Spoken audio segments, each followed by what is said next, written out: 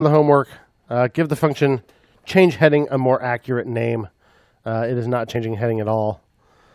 Um, I'm actually going to call it handle submit because that's what its job is. Its job is to handle the submission of the form. Um, and I'm doing that partially because I'm thinking ahead. Add flick might or add movie or something like that might seem like a more logical name, but to me, that's not even its job. Its job is to just handle submission and then send other messages other places to get other things done. So maybe add flick should even be a separate thing from that. Like handle submit, its job is to determine that it should add the dang flick. But actually adding the flick is maybe the job of another function down the road. Um, so it's pretty common for me to name event listeners things like handle whatever the event was. Because I try to keep functions doing one job and one job only. So if it's handling an event, handling event is all it should be doing, unless it's very simple. Um, so that's what I'm going to name it for now, but that's fine that you that you probably named it uh, something else. So the next part, uh, add a second field to the form and display the value of that field in the list. So I don't know, which Chris, uh, your rating, your year. Uh, what do you think? What do you want to do? Which Chris, the year. What do you want to do? Which Chris? All right. Should that just be a free form thing? Should it be like a drop down or something?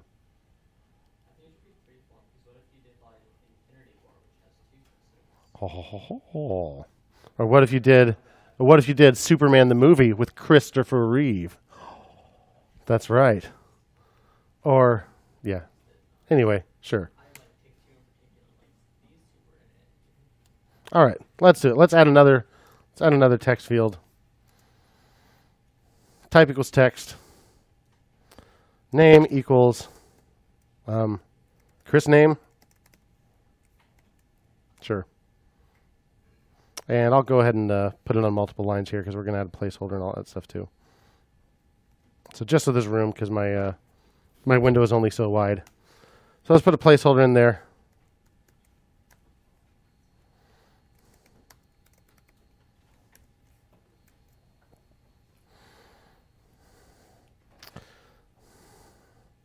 Oh man, now what's going to happen? Ah, that's that's acceptable. Cool. Probably need more more room for the movie name than we do for the Chris name. So maybe I need to uh, fiddle with my uh, style a little bit.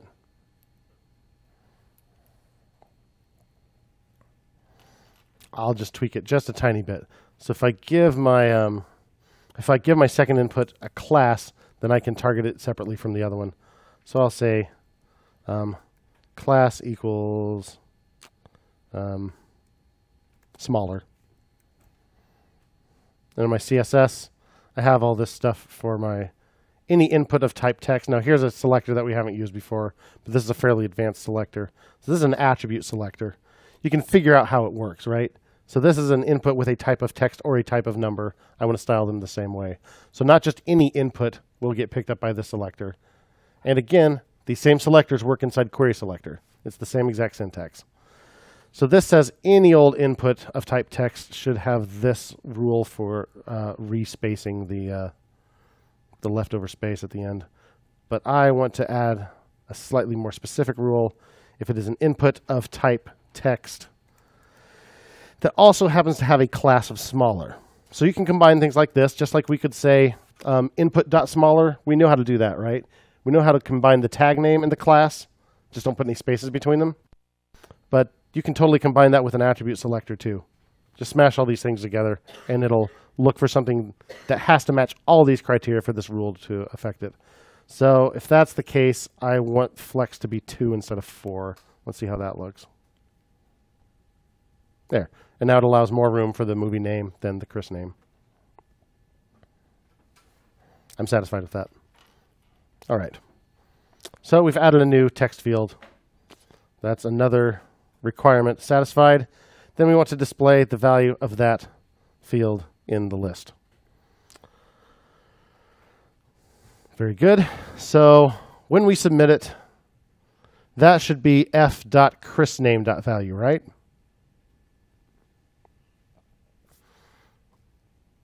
So let's say const Chris equals f dot Chris name dot value. I suppose I'll call it Chris name since that wasn't f dot Chris name dot value. So then I could just append it to the text content for the for the list item.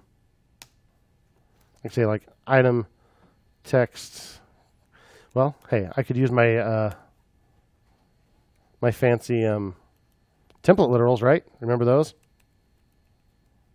So then I could do something like this, starring Chris, Chris name.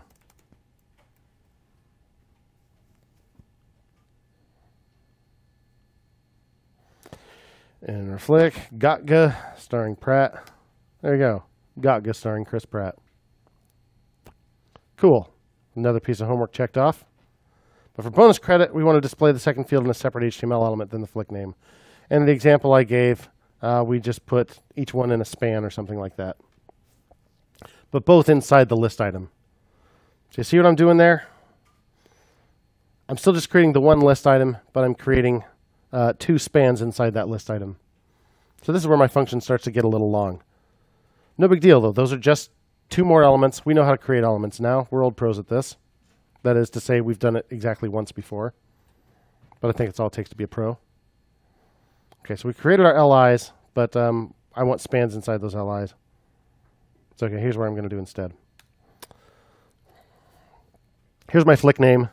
Uh, now I'll make a span for flick name.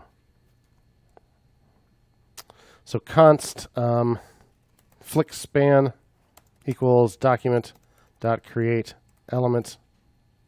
What kind of element? A span. And flick span dot text content equals flick name. So I get my Chris name out of there.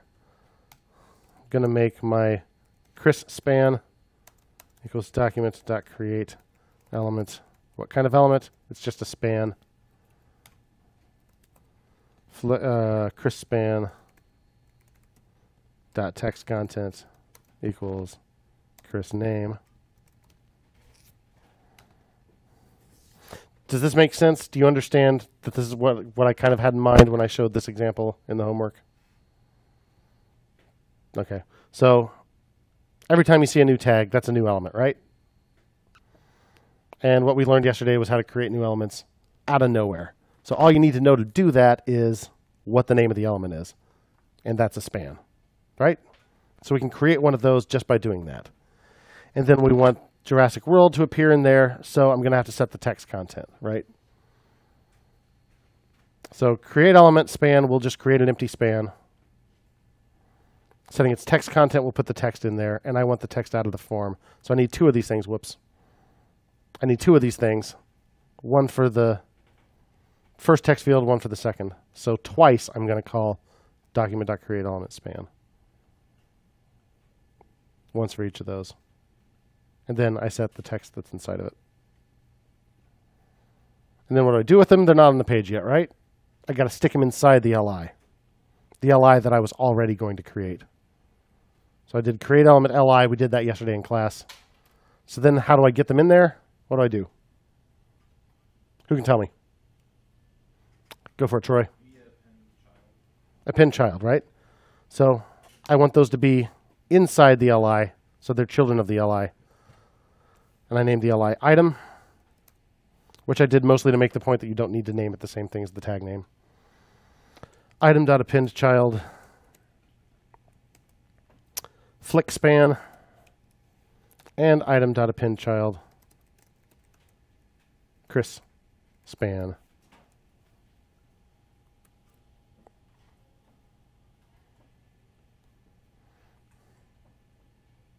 Let's try this again. So we've got Captain America, the first Avenger, Katfa. Which Chris? That was Evans. There you go, Katfa Evans. So look at this. Let's inspect that. We've got the two spans. But they're not styled differently, right? That's the that's the next level of bonus credit. But by golly, we've got them in separate spans, and that's something.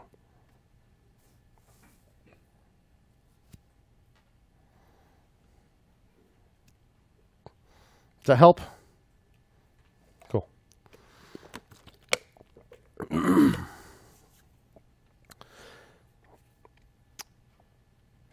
so again, this this function's now getting a little long, and it's giving me some ideas for how I would break it up. Um, but before we do that, let's uh, see if you can style them each differently. Let's do that before we start adding more functions to the mix. So questions about what we just did? So what did I do since my last commit? Add Chris name field to the form